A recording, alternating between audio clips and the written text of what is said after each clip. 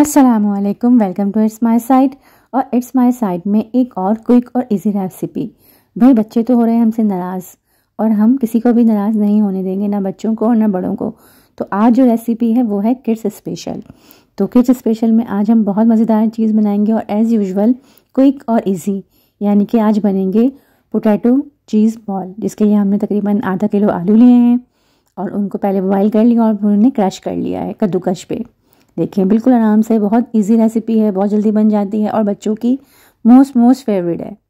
बस जैसे ही हमारे आलू ग्रेटर हो जाते हैं, उसके बाद हमने एक टेबल स्पून लिए रेड चिली फ्लेक्स एक टेबल स्पून लिया है हमने सॉल्ट सॉल्ट पे एज़ यूजल हौले हाथ रखना है, एक टीस्पून हमने लिए है लहसुन पाउडर, एक टेबल स्पून हमने लिए है ब्लैक पेपर एक टेबल स्पून हमने लिया है चिकन पाउडर और तमाम चीज़ों को उसमें डाल के अच्छे से आलू को मिक्स कर लेंगे।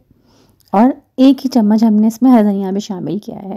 आलू में तमाम चीज़ें मिक्स करने के बाद हम थोड़ा सा आलू का टिकड़ा उठा के हाँ हथेली पे रखेंगे और उसमें डालें, डालेंगे छोटी थोड़ी सी चीज़।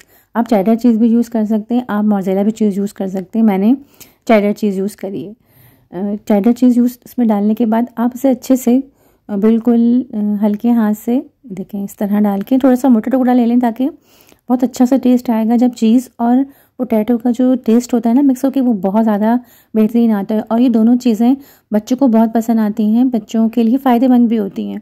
इसलिए बहुत छोटी उम्र से भी बच्चों को ये देने दे सकते हैं, चाहे तो।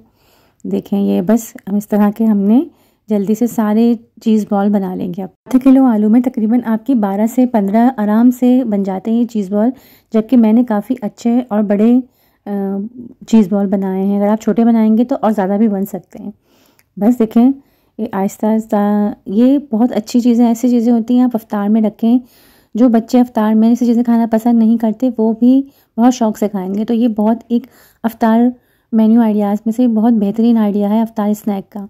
तो आप अपने पोटैटो चीज़ बॉल ज़रूर अफ्तार के दस्तखान में शामिल करें। बस ये तकरीबन मेरे सारे चीज़ बॉल बन गए हैं। बस चीज़ बॉल बनाने के बाद हम थोड़ा सा एक अंडा फेंट लेंगे।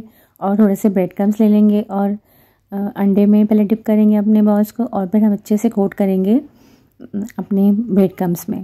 सारों को इस तरह ही कोट कर लेंगे। अगर हम अच्छा जब हम हमारे सारे ब्रेड क्रम्स कोट हो जाएँ तो हम चाहें तो उन्हें थोड़ी देर फ्रिज में भी रख सकते हैं। बल्कि फ्रीज़र में अगर आप रख लें, दस से पंद्रह मिनट तो ये बहुत अच्छा हो जाता है। आपका जो ब्रेड क्रम्स है, वो बिल्कुल अच्छे से आपके आलू पे ना जम जाएगा।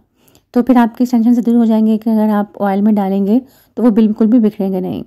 देखिए, ज़बरदस्त किस्म के बिल्कुल ही सारे इसमें कोट कर लेंगे। ये हमारे तकरीबन सारे चीज़ बॉल हमने इसको क्रम्स में और अंडे में अच्छी तरह से कोट कर लिया है। और इसके बाद आखिरी मरला है, यानी कि फ्राई का। देखिए, कितनी आसानी से रेसिपी बन जाती है। तो ये रेसिपीज़ वो रेसिपीज़ जो आपके, आपको काम को आसान कर दे क्विक और इजी हो, वही आप रमज़ान मुबारक में इस्तेमाल करें ताकि आपको ज़्यादा से ज़्यादा इबादत का मौका मिल जाए और आपका पूरा टाइम किचन में ना हो। बस हमें बहुत अच्छा सा गोल्डन ब्राउन कलर देना है, देखें।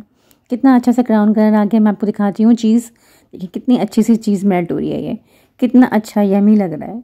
बहुत ज़्यादा खूबसूरत है। जिस तरह ये यमी लग रहा है इतना ही आपके घर वालों को और बच्चों को भी बहुत ही पसंद आएगा। वाह इट्स गुड वाह, जी वाह। यमी तो फिर अब तो बच्चे खुश हो गए होंगे तो बच्चे भी खुश और बड़े भी खुश।